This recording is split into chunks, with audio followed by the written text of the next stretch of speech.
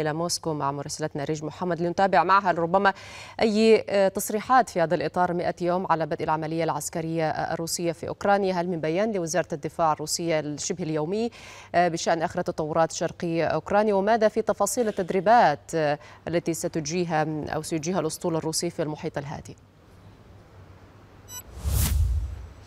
داليا فيما يتعلق بتصريحات حديثة لوزارة الدفاع الروسية هي تصريحات يومية صباحية مقتضبة كما جرت العادة. تتركز حاليا هذه العملية العسكرية في مناطق شرقي الدنباس في مقاطعتي لوغانسك ودانيتسك. طبعا الجانب الروسي يقول أنه يسيطر على 95% من مقاطعة لوغانسك ولم يتبقى سوى 5% موزع على بلدات ومناطق متعددة منها المنطقة الاستراتيجية المدينة الاستراتيجية سيفيرودانيتسك دانيتسك حيث تتركز العمليات القتالية الأكثر ضراوة وقسوة في هذه الفترة على طريق السيطرة عليها لما.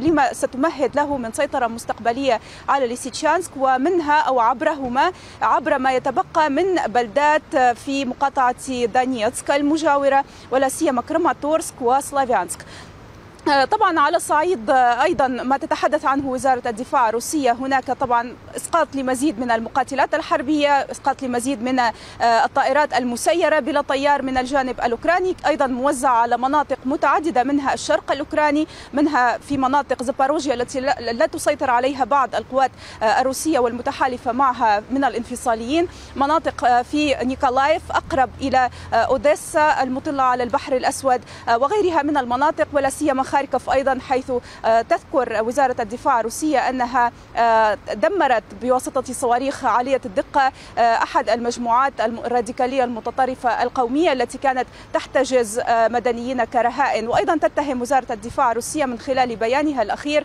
هذه المجموعات الأوكرانية باحتجاز عدد من الرهائن في أحد المصانع مصانع الأسمدة في سيفيرودانيتسك حيث تم إدخالهم إلى هذا المصنع واحتجازهم بذرائع واهية وهم لا زالوا هناك محتجزين حيث تدور العمليات القتالية بالقرب منه.